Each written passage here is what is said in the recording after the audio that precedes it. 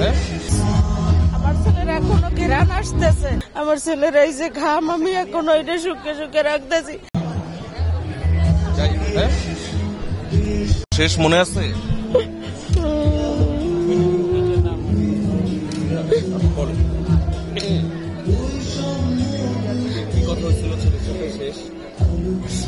শেষ কথা আমার ছেলের আশা ছিল ও আর মেট্রিক পাস করবে মেট্রিক পরীক্ষা দেবে, তিনটে টেস্ট পরীক্ষা দিয়েছে।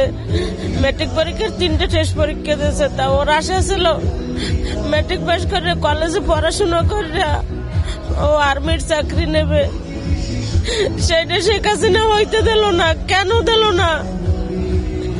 ওরা কি মার্ডার কেসের আসামি যোগ গুল্লি দিয়ে হত্যা করছে? কেন হত্যা করলে? ওরা তো ছাত্র। কেন এটা শেখ হাসিনা করল?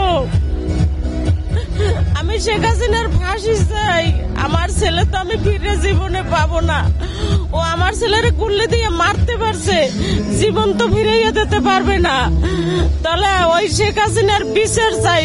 সত্যিকারের বিচার করবেন আপনারা। ওরে ফাঁসি দেবেন। মাহফুজ রহমান। জি, ওর পনেরো বছর বয়স।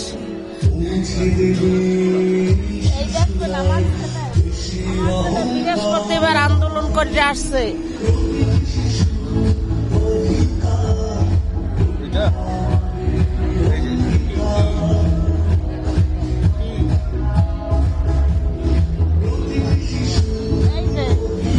আমার ছেলের এখনও ঘেরান এই দেখেন মাহফুজ আমার ছেলের এখনও ঘেরান আসতেছে।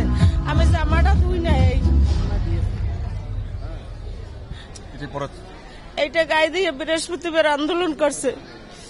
আর এই দেখেন, এখনও ঘেরান আসতেছে। আর এই হইলে স্কুল ড্রেস, এইটা আমি এখনও দুই নাই। আমার ছেলের এই যে ঘাম, আমি এখনও এটা শুকে শুকে রাখতেছি। আমার তিন মাইয়ের পর একটা ছেলে মাহবুজ রহমান। এই যে আম রাখছেন, এই দেখেন। পরে আমি শুক্রবার দিনও নামাজে যাই। গোসল করিয়া। ভাতও দিনে আমি ভাত রান্ধে টেবিলে নিয়ে বসে আছি। আমার ছেলে আসবে, তারপর একটু লগে ভাত খাব। স্কুল কোচিং নিয়ে ব্যস্ত থাকতো, খালি শুক্রবার একটু সময় করতো। শুক্রবারও ঘুরতে গেছে। প্রতি শুক্রবারই ঘুরতে যায়। তো ওই দিনকার আমারে বলছে আমু আজ তো কোনো মিছিল নাই, আমি নামাজ পড়িয়া একটু ঘোরাফেরা করে আসব আনে বাসায়। ও আর আসে না বাসায়, আর আসে না। আমি ভাত রান্ধতে টেবিলে নিয়ে বসে আছি। আমার ছেলে আসলে আমি ভাত খাব। আমার ছেলে চারটের সময় নাকি শুনি যে গুল্লি খাইছে।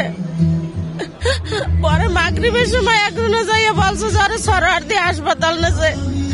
তখন আমি শূন্য বিহুশ হইয়া পড়ছি। আমরা রাত্রিরে লাশ খুঁজতে গেছি। যাইয়া দেই সরহার্দির হাসপাতালের বারান্দায় লাশ আর লাশ আমাকে মর্গে ঢুকতে দেয় নাই।